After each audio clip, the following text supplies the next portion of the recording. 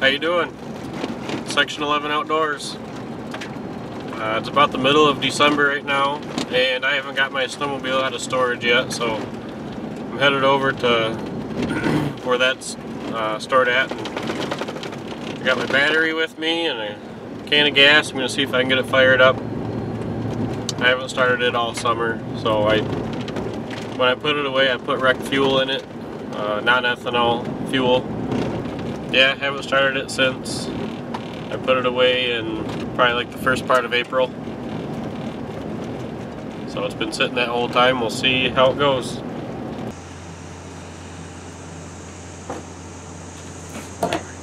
Got a toolbox, got the battery, and got some gas. There it is, all covered up. Oh man, doesn't look like anything right now under that tarp. Almost forgot what it looked like.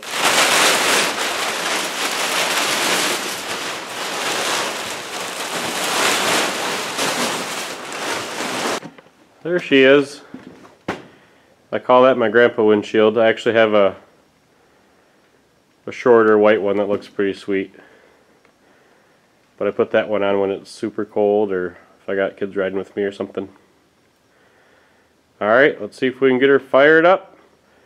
I think I got to put the belt back on. I have to put the battery in it. I got a rag stuck in the exhaust and I think I got mothballs in it. So should just take a couple minutes here and we'll be ready to fire up. You take this bolt out. Just flip this around backwards. Thread it in.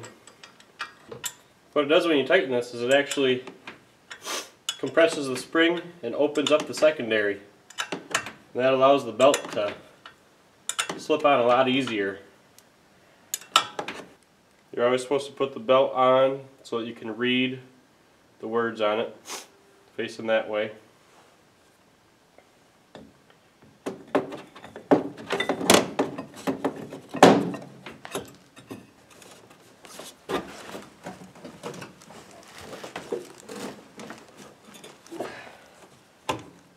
Almost got it. There it goes. That wasn't so bad. You can just loosen this.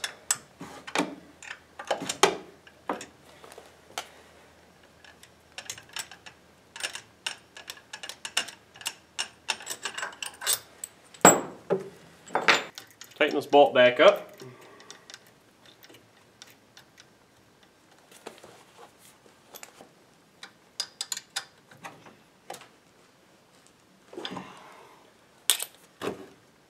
Belt. Alright, um, I already pulled the rag out of the exhaust, so that's not an issue. Uh, the last thing to do is to put the battery in. Now, you'll see, I bought this used. I wouldn't have ordered this, but it does actually have a heated seat. Pretty darn nice.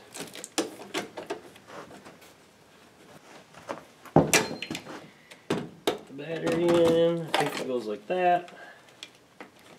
Pretty sure.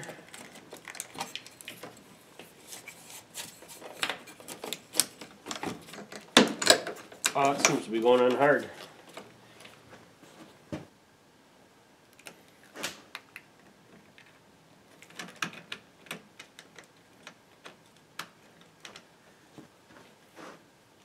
Huh. Wouldn't you know it? I put it in backwards. Guess I need to switch it around. Maybe that's why it went in so tight. Yep, fits better that way.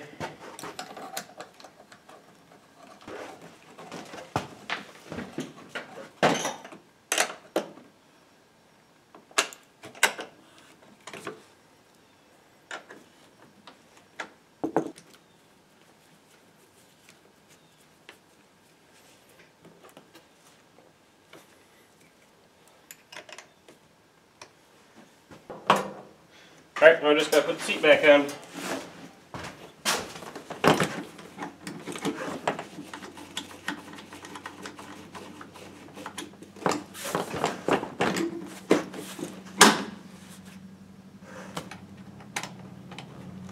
Sorry the picture's so bad in here. It's a little dark, we don't have any lights. This is the moment of truth. Will it start?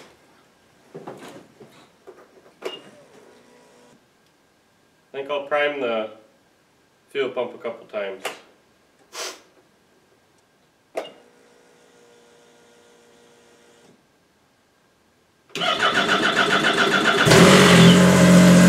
Wow, look at that! Woo! Gonna let it warm up for just a minute before I try to move it.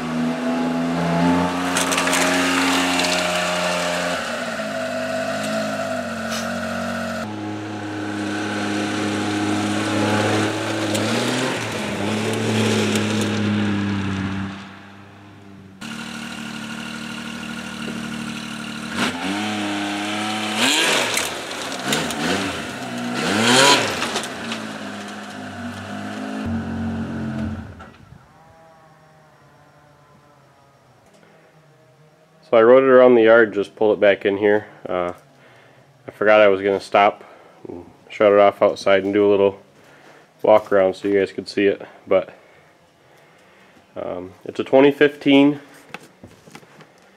XF 7000 Sno Pro Edition. So it's a 141 with a 1.6 lug. And it's got the 1049cc Yamaha four stroke in it non-turbo. I really like it. Um, it's pretty good for the type of riding we do.